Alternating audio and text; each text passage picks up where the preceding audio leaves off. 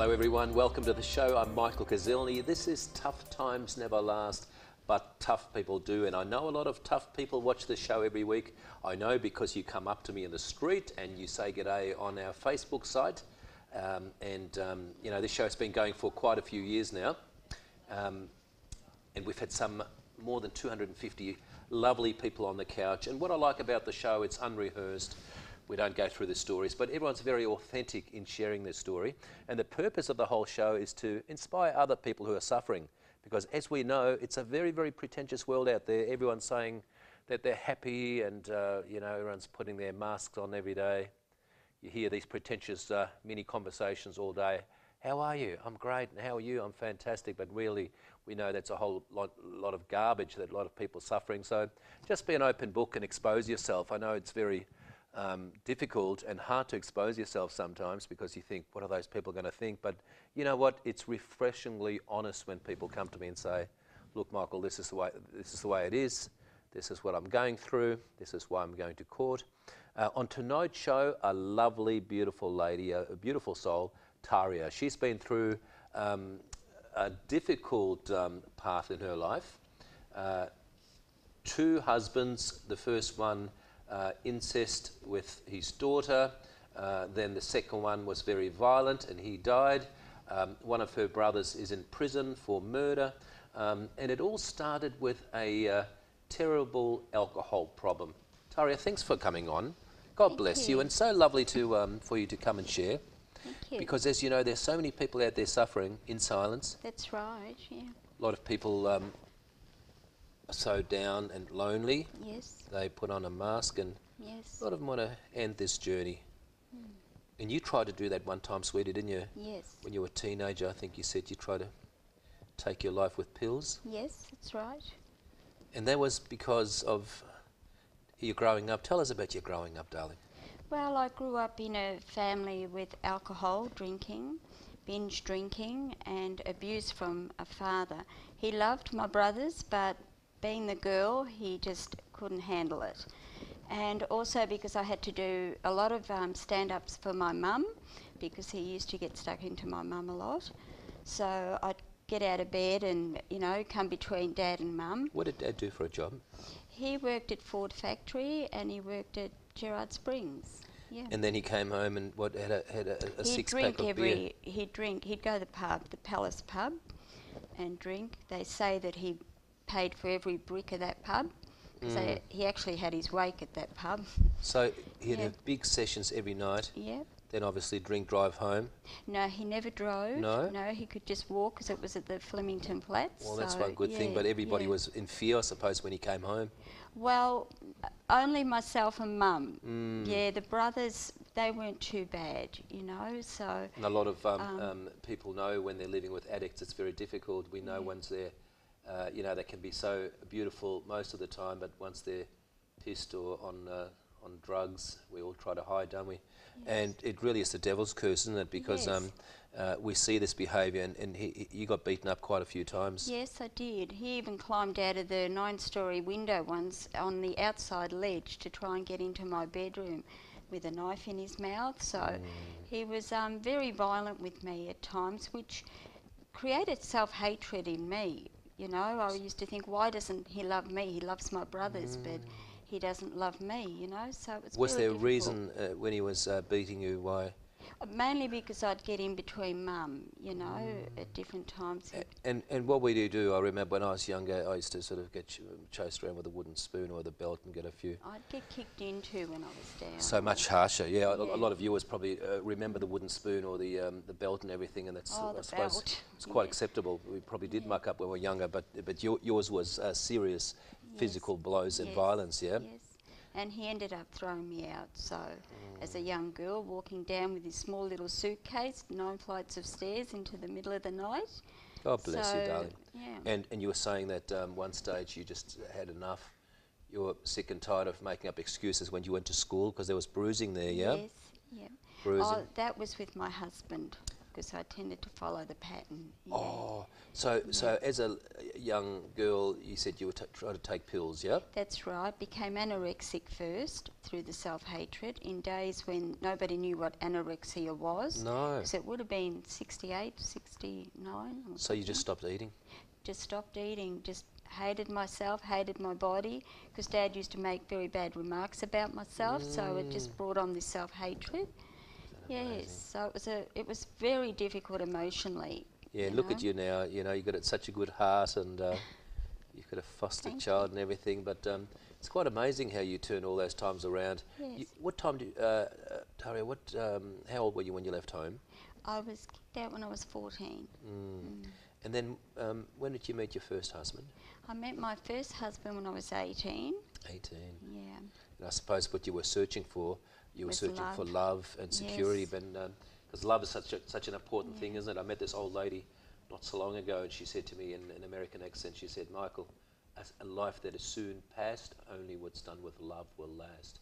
And that's so true, isn't it? Um, it doesn't matter if we get all the success and all the fame and all the dough in the world. If it's a, a, a life lived without love, it's a pretty empty life, isn't it? Um, you know, love is so important, and it doesn't have to come from family. Sometimes we can't choose our family, and uh, you know, there might be incest, there might be uh, violence, there might be um, hatred. So sometimes we can find friends who supply that love. But give yourself a big hug tonight, and um, you know, own yourself and pull your own strings.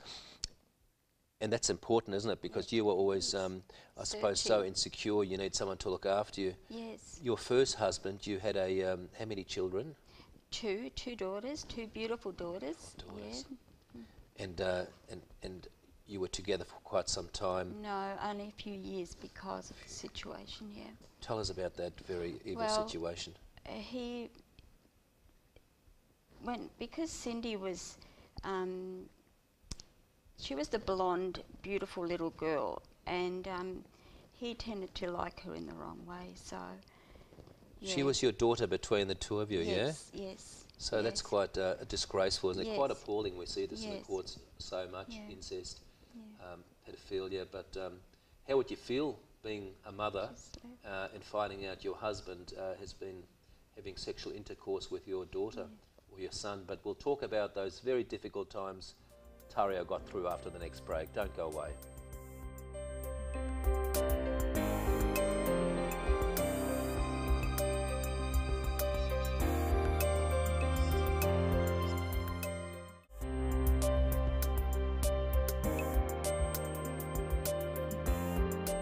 Welcome back to the show. I'm Michael Kuzilny. Thank you very much for the pleasure of your company.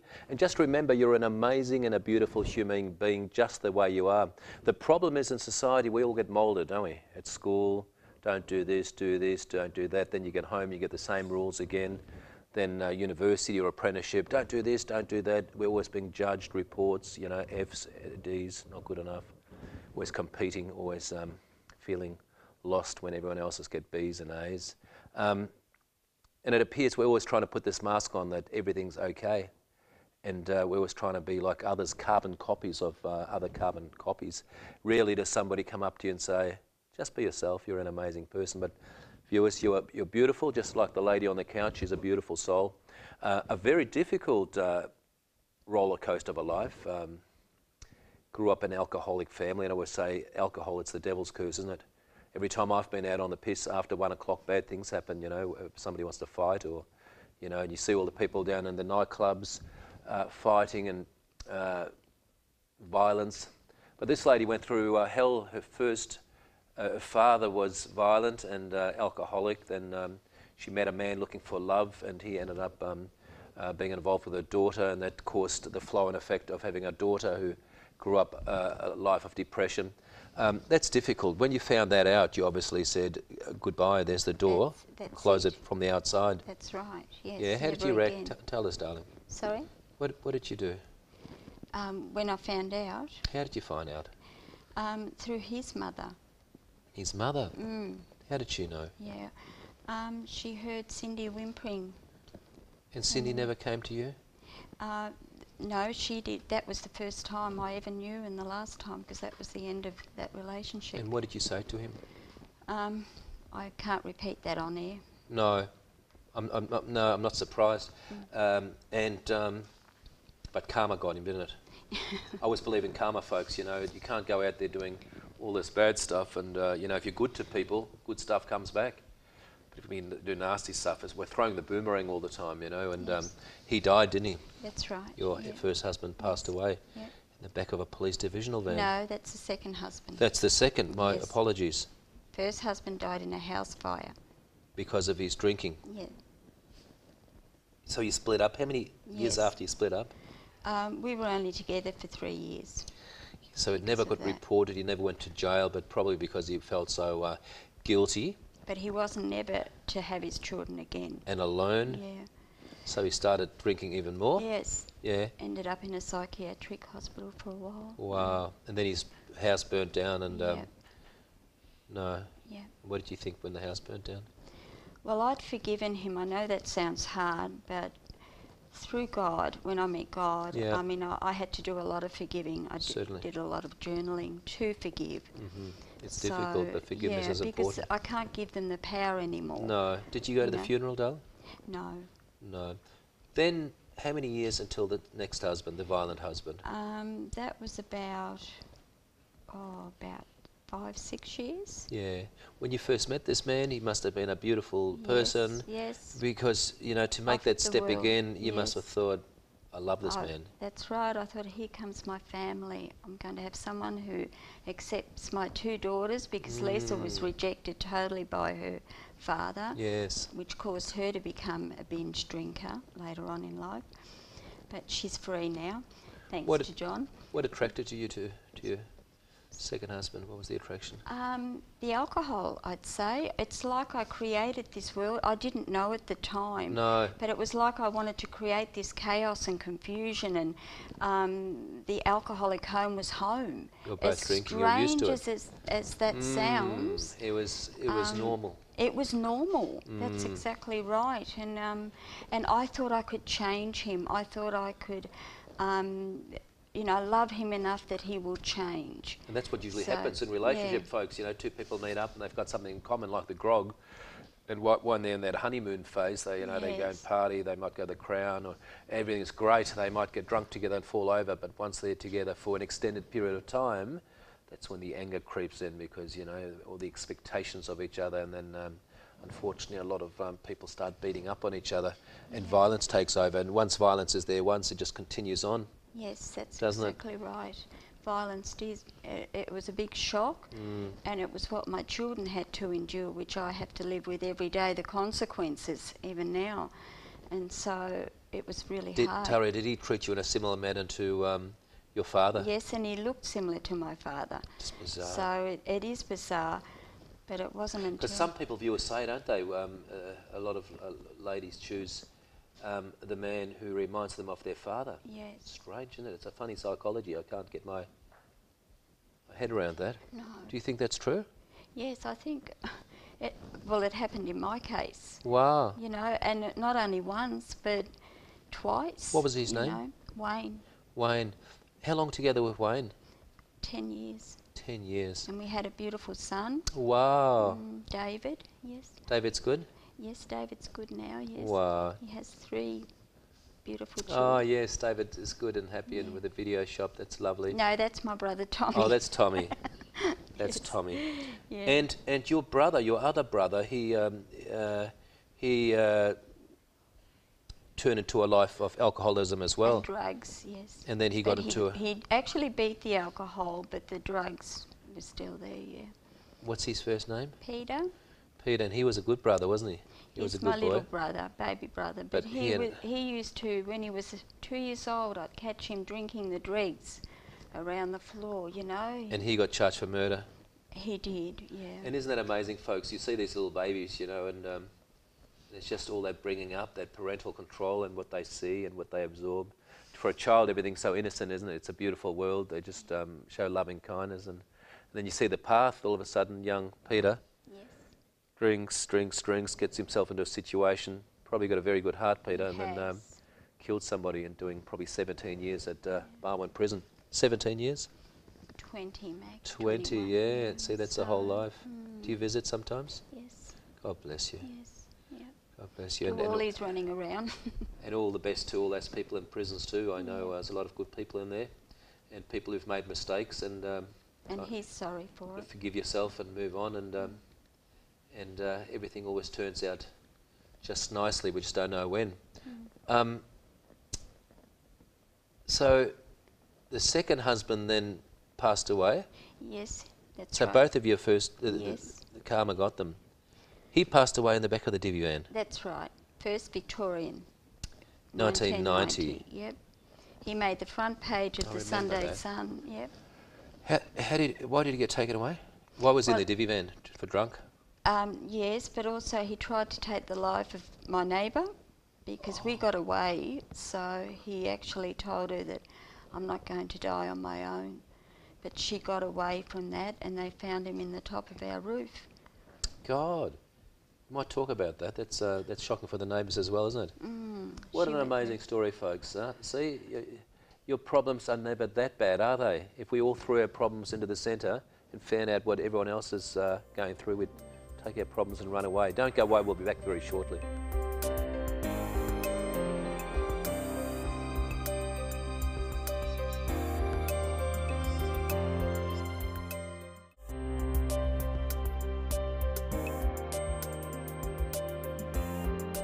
And welcome back to the show. We don't want to get you too depressed. People say, You're always so serious, Michael. No, we do cheer up sometimes.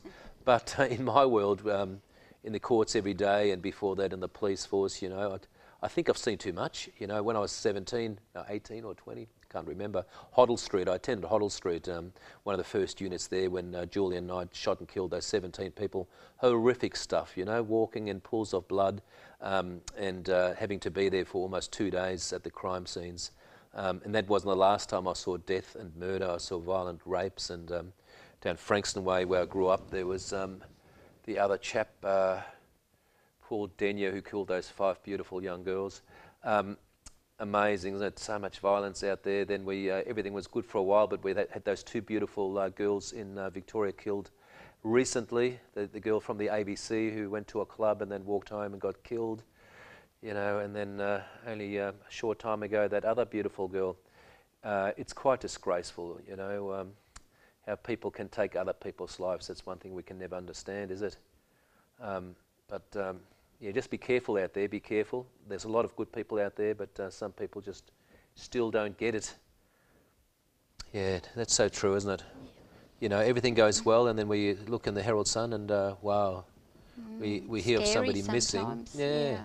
A lot of broken people out there, darling. Exactly. And you know what I love about you, Tariah? You're, you're, you're so down to earth and honest. You said, Michael, yes, I was broken. I had um, alcoholism and um, uh, anorexia, and um, and it wasn't you who's broken. You you just tried your your, your best as a right. as, you know as a trying to get through all this. That's right. You do what you can with what you know, don't But you? But look at you now. Many scars. Got a good bunch of mates. yes, I have. Um, you know, and a good husband. got a good husband. That's Yeah, great to hear. A beautiful husband. Oh, great. yes. How'd you find him? Well, we both began a journey with God Nice. as well.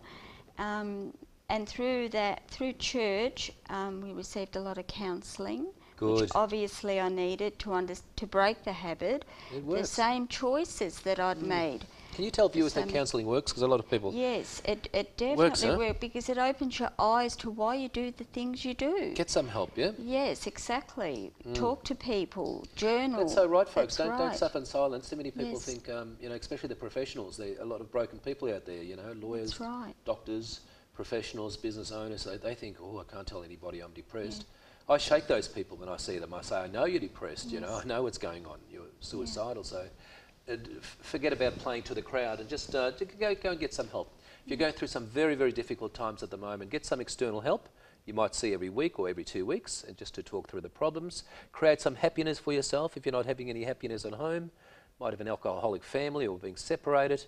Uh, then, then go and have some help. Join some groups. Toastmasters International are great. Public speaking, Rotary is great. The church groups are fantastic.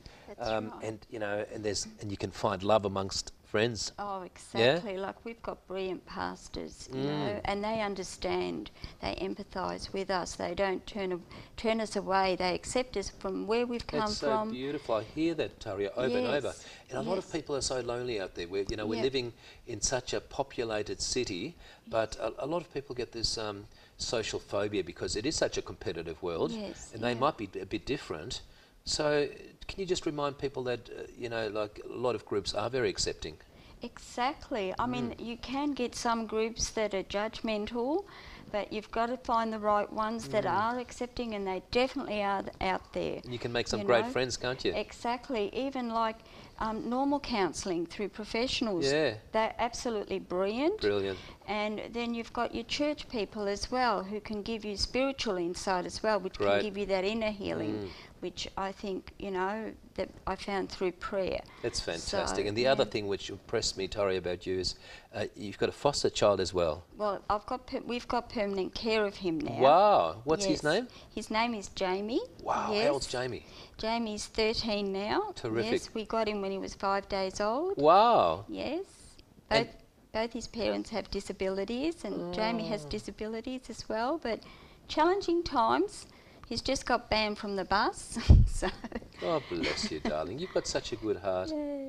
And folks, you know, the, the, the search for happiness, everyone always says to me, Michael, hey, how do we find happiness? I say, look, there's no need to be happy all the time. Like Anthony Robbins, all those American motivational speakers jumping around with joy. That's just a bunch of bullshit, really, isn't it? I, I think once we find meaning in life, meaning or purpose, we can be content, but we don't even need to be happy, you know. Uh, meaning, and then just have those intermittent moments of happiness, you That's know. That's right, and to give back. Yeah. You know, you've got to, To give, give back. is beautiful. To be Yes, selfless, folks. yeah. Selfless. And and if you expect wonderful things to happen every day, just little wonderful things, you know, and, and you put that resistance down and you just go with the flow of the universe rather than it's all about me, look at me, you get into a conscious of here I am, you know, here I am.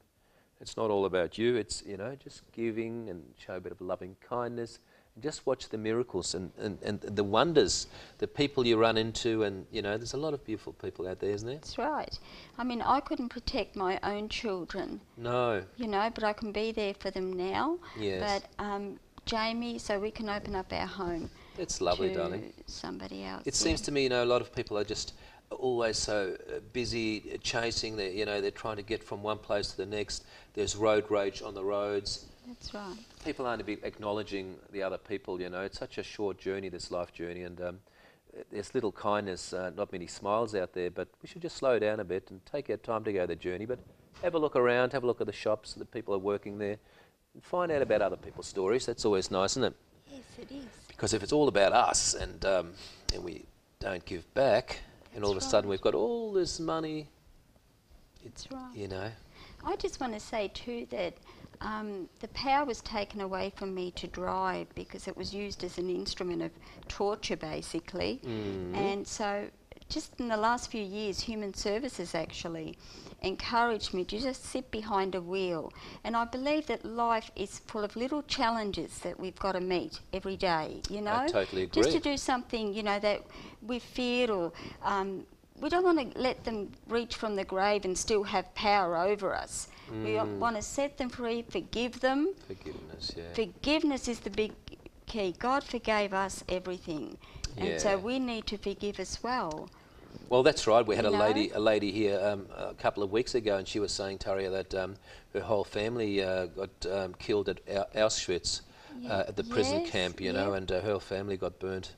She could smell the human flesh in the incinerator, and when she walked out, her family got wiped out by the uh, Nazis. Um, and she said, look, she knew every morning she had a choice to be unhappy and depressed, or or she could be um, happy. Tariah, That's thank you very much for That's coming on. God bless Thank you, you, and Michael, for hearing thank you very much for sharing and um, inspiring other people. That's lovely. Thank and you. viewers, thank you very much for watching once again. If you've got an interesting story to share, please uh, take the time to check out our Facebook page. Tough times never last, and I'd like to thank all the people helping on the show, the people um, doing courses, uh, Josh Marnie uh, for producing the show so long, and uh, all the lovely viewers. Uh, love and best wishes. Good night.